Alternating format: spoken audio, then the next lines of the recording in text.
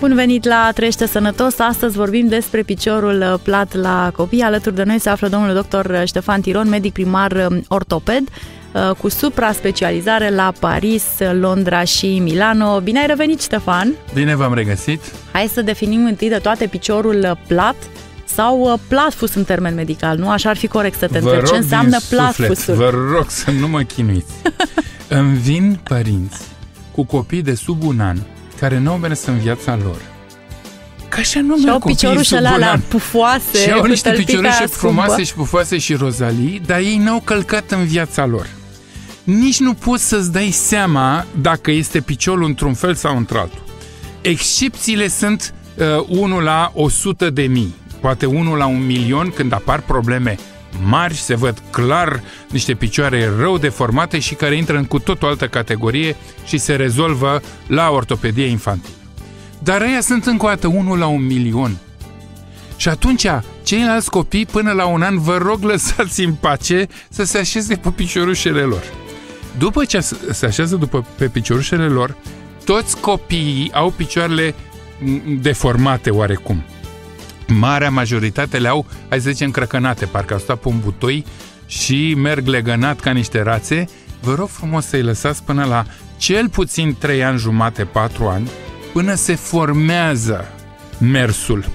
Uh, vă rog frumos, și acum știe deja lumea, trebuie să lăsăm să se întâmple natural. Să meargă copilul, să se întoarcă pe burtă, să se târască pe patru labe, să se țină de marginea patului și să se cațere, să ajungă în picioare, să stea sprijinit de ă, antemergătoarele alea s-a văzut că nu sunt foarte bune, pentru că sare peste niște etape care sunt foarte importante în dezvoltarea uh, lui. Deci lăsăm copilul să evolueze natural, Vă firesc. rog frumos, Vă spuneam că excepțiile sunt atât de rare că mai degrabă câștigi la loto decât să ai o astfel de problemă adevărată. Și sub un an nici nu se poate discuta pentru că ne-a călcat copilul ăla. Uh, până în 4 ani jumate, deci copilul va călca practic în 90 și ceva la sută din cazuri cu un picior care pare să fie plat. Uh, piciorul ăsta plat se definește în antropologia mondială ca un picior care calcă, uh, știți cum se vede când iese copilașul din piscină, te uiți pe piatra, urmele lăsate. piatra caldă așa și urmele lăsate. Dacă există în urma aia un grad de scobitură uh, ok, uh, nu este nici într-un caz picior plat. Se face o confuzie gravă între piciorul plat adevărat, deci ce se vede la nivelul tălpii și ce se vede de sus când îl observi la nivelul gleznei. Glezna poate să fie oarecum căzută, de multe ori o gleznă căzută, uh, calcaneu un val, cum se numește, se însoțește de un picior plat, dar de multe ori nu.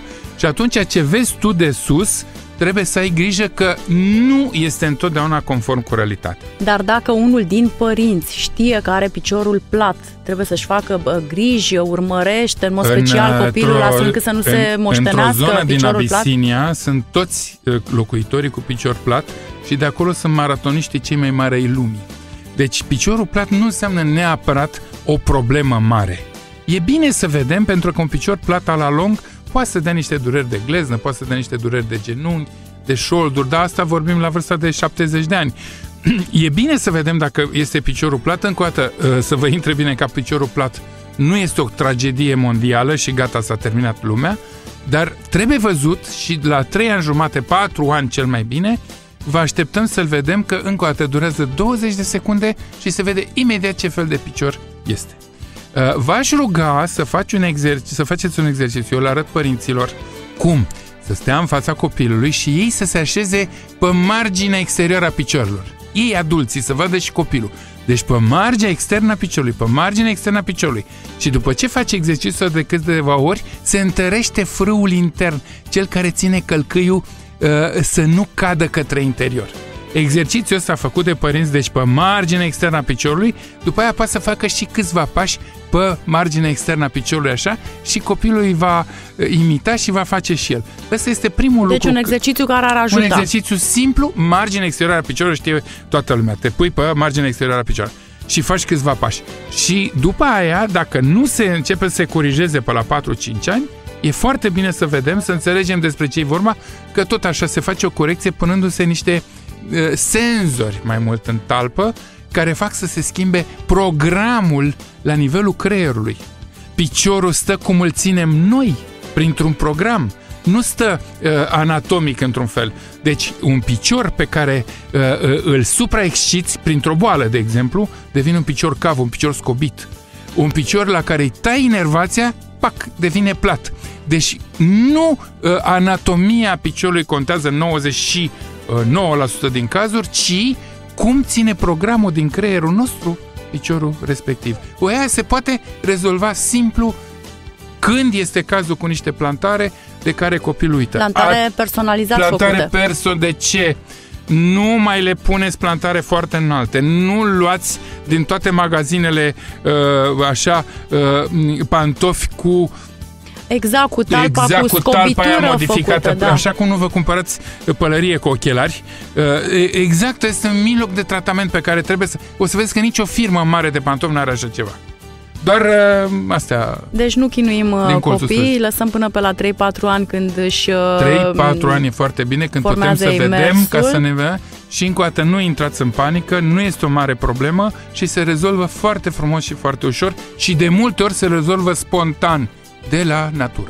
Mulțumim uh, pentru sfaturi. Astăzi alături de noi a fost domnul doctor uh, Ștefan Tiron, medic primar ortoped cu supra-specializare la Paris, Londra și Milano. Am vorbit Și- despre și cine mai piciorul știe pe plat la unde. Paris. la cât mai multe lucruri uh, frumoase Să să, rămână. le realizezi, uh, Ștefan, și să revii aici la Ițibiții ca să povestim uh, și să ne asculte lumea. Avem multe de învățat. Cu tot drag. Rămâi cu noi la Trăiește Sănătos, avem multe să-ți povestim și să învățăm împreună.